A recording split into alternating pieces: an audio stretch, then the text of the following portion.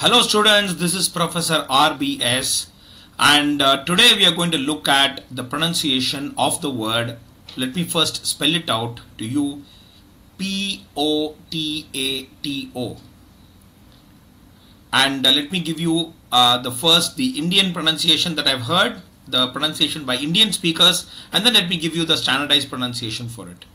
So many Indian speakers pronounce this word as potato.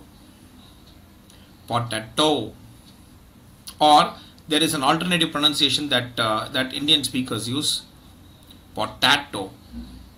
Potato. There is another pronunciation that I've heard. This is pronunciation 3 potato. Potato. The first sound p almost becomes like f. Potato but let me give you the, the correct pronunciation or the standardized pronunciation of it. I don't want to call the uh, use the word correct. The standardized pronunciation of it, it is potato. Let me repeat. Potato. Potato. Potato. So let me screen share with you and uh, you know just a moment share screen so there we are yeah so this is the word that we are discussing uh, you will be seeing me also there's no problem about that. So the word is potato.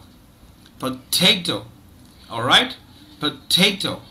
Potato. And this is the word that we that we are looking at today.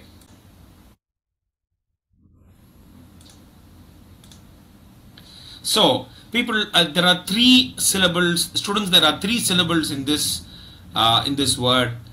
And it is divided like this potato and uh, this is the syllable that is uh, the one that I'm that I'm highlighting is the syllable that is uh, yeah I'm underlining it right now. That is the syllable that is that is that is stressed. So it is potato potato potato. Okay let me stop share and let me repeat the standardized pronunciation two or three more times. Potato potato potato okay people thanks a lot for listening. And uh, in, uh, in another uh, tomorrow we'll be looking at um, another word. Okay? So th today the word was potato. Please practice this pronunciation. And if you have any questions you can always mail me or you know my whatsapp number.